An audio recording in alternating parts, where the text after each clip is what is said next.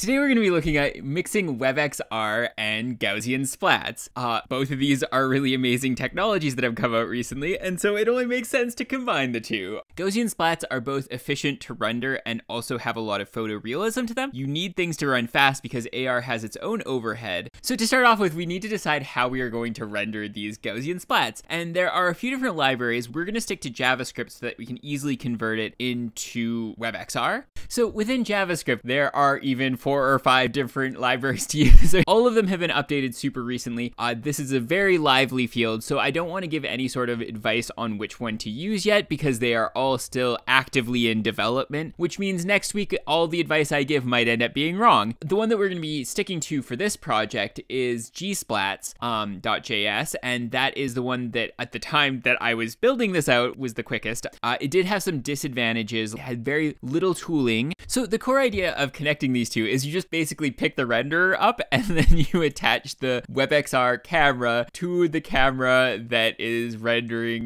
the Gaussian splat. And then as you move the WebXR camera around it, it updates the Gaussian splat camera. And then you're basically just rendering that on top of the WebXR scene. And that that's basically the key idea here is that we're basically just copying over the information from the camera. Um, and it works pretty well. It's there's like some disadvantages to doing the things this way. So like uh, if your camera intrinsics don't match up, then you'll end up with kind of a mismatch. Uh, so for the most part, I eyeballed the focal length. That's not ideally how you do things, um, but it seemed to work out pretty well. So some of the modifications to the code that I needed to make uh, were I needed to make the background transparent. Um, I also needed to change the focal length. I just divided it by four and it seemed to work all right. Um, and then you also need to make sure that the scaling is correct. So I was finding a lot of these scenes are scaled about five to one. So if you increase them by about five, um, that ends up being about the realism scale. It's not a lot of code editing that I had to make. Um, for the most part, like some of this is just boilerplate code. So if it's like 100 lines, like 80, 90 lines are boilerplate. and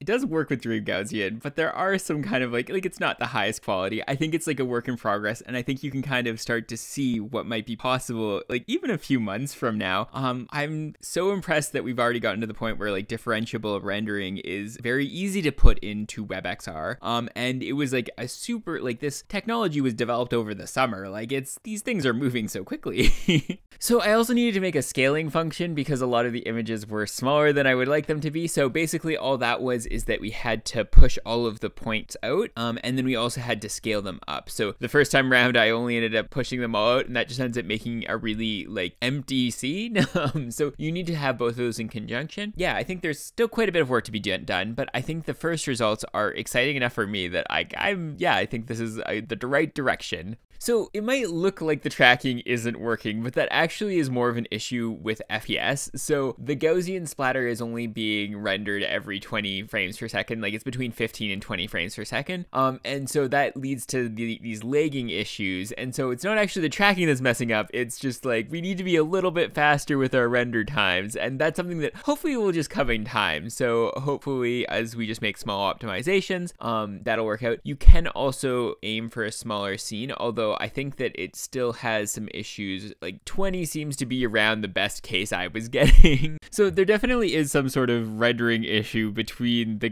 the Dream Gaussian repo and this one. So this library was actually put together by a YouTuber it goes by Individual Kex, and it also is a wrapper around this other repo that was put together by Antimatter 15. So I think those are two people that I just thank you so much for the work that you've done. It's amazing.